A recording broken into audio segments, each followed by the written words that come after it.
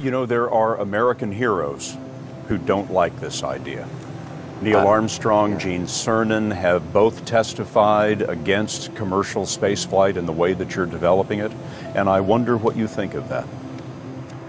I was very sad to see that um, because those guys are, yeah. You know, th- those guys are heroes of mine, so it's really tough. You know, I, I wish they would come and visit and, and see the hardware that we're doing here.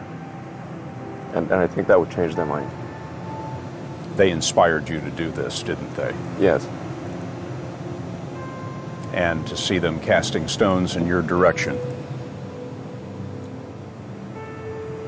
It's difficult. Did you expect them to cheer you on? So they're hoping they would.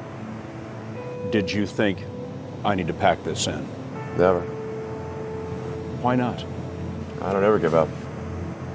I mean, I'd have to be dead or completely incapacitated